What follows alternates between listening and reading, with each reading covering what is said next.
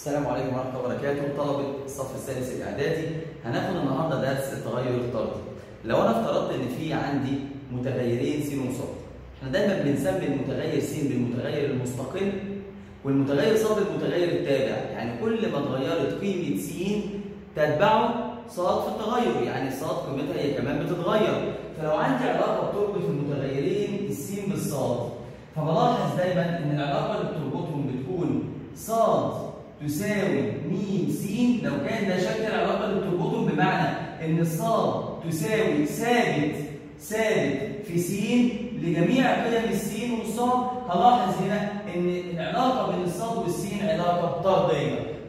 لها بالرمز صاد تتناسب أو تتغير طرديا مع س ده الشكل أو الرمز بتاع التغير الطردي هيبقى صاد بتساوي دايما ثابت في س ومن هنا بنستنتج إن النسبة دايما ما بين ص وس نسبة ثابتة. يعني لو قسمت ص على س هتساوي م اللي هو ثابت التغير أو ثابت التناسب.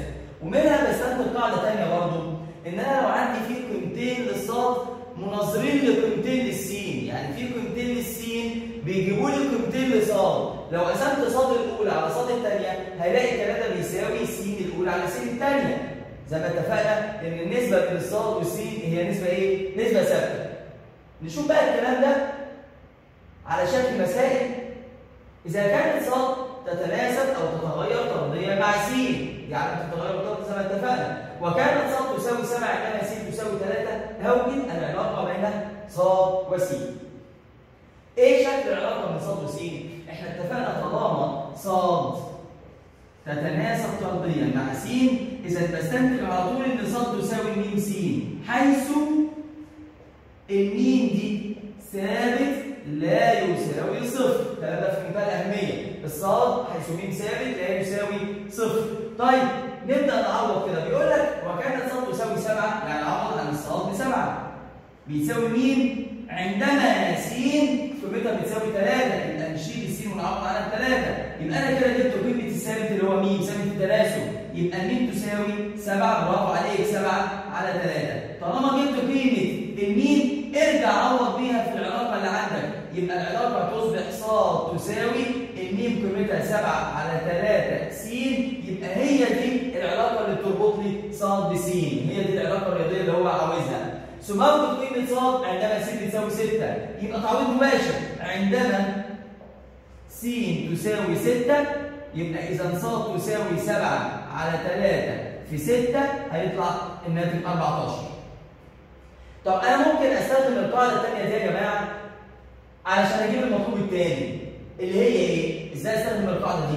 هنلاحظ هنا إن هو مديني عندك كام قيمة للصاد؟ بصوا معايا كده هلاحظ إن هو مديك القيمة الأولى للصاد أنا بعتبرها صاد واحد اللي هي صاد الأولى.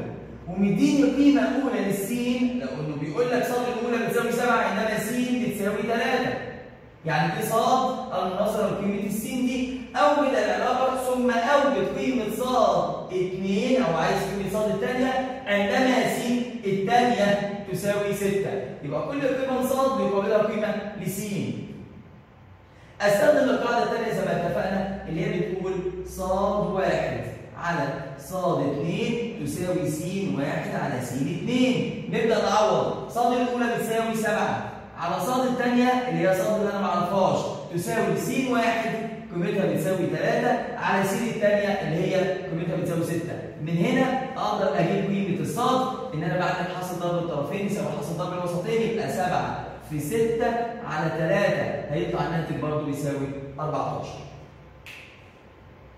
شوف مثال تاني.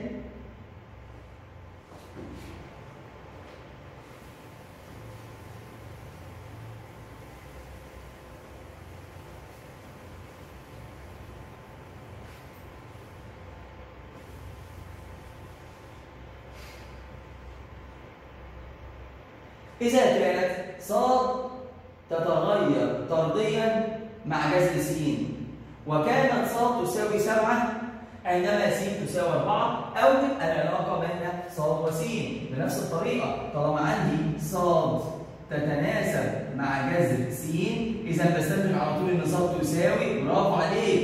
ثابت اللي هي م في جذر س ثابت في جذر س نبدأ نعوض بقيمه في جذر س عندما س تساوي 4 جذر الأربعة 2 يبقى إذا الميم تساوي 7 على 2 وكده جبنا قيمة ميم أرجع أعوض بيها في العلاقة عشان أجيب العلاقة من صاد وس يبقى صاد تساوي 7 على 2 جذر س هي دي العلاقة اللي بتربط صاد بس ثم آخد قيمة صاد عندما س تساوي 16 يبقى نعوض عن الس ب 16 إذا صاد تساوي 7 على 2 في جذر 16 تمام؟ جذر 16 4 هيبقى الناتج عندك بيساوي 14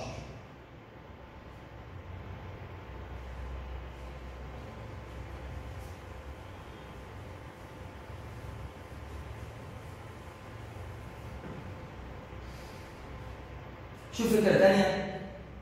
إذا كانت صاد تساوي 5 زائد عين حيث عين بتتناسب طرديا مع س وكانت صاد تساوي 11 عندما س بتساوي 2 أوجد العلاقة من صاد وس خلي بالك هو عاوز يربط العلاقة أو عايز يجيب العلاقة من صاد وس يبقى إحنا عايزين نخلص من العين. إزاي؟ خلي بالك من الحتة ديت. هو بيقول لك إن صاد بتتناسب مع س إذا بستنتج بما أن صاد تتناسب مع س إذا العين تتناسب مع س إذا العين تساوي م س ممتاز صاد تساوي 11 عندما س بتساوي 2 أنا هنا ما أقدرش أعوض مباشرة لأنه جاب لك علاقة من صاد وس مش عين وس يبقى اللي أنا هعمله إن أنا هعوض عن العين أشيل العين وأحطها في مكانها. يعني هقول له إيه؟ إذا العلاقة اللي هو مديها لك في المعطيات صاد تساوي 5 زائد عين أشيل العين واحط قيمتها اللي هي برافو عليك م س كده أنا جبت العلاقة بين صاد والس ولكن عايز أجيب قيمة المجهول مين؟ أجيبه إزاي؟ من المعلومات اللي اديها لك. صاد تساوي 11 5 زائد م في الس تساوي 2 هنحل المعادلة عشان نجيب قيمه الميم انقل الخمسة الناحيه الثانية بعكس الإشارة. هيبقى م في 2 يعني 2 م 11 ناقص 5 6 6 على 2 إذا م بتساوي 3 كده أنا جبت قيمة الميم. نقدر نجيب العلاقة بين الصاد والسين. يبقى العلاقة هتبقى صاد تساوي 5 زائد الميم بكام؟ ب 3 يبقى 3 س وهي دي العلاقة بين صاد وسين. ثم اكتب قيمة صاد عندما س تساوي 4 تعويض مباشر عندما س تساوي 4 أعوض يبقى صاد تساوي 5 زائد 3 في 4 هيبقى الناتج بيساوي 17 شوف مثال تاني.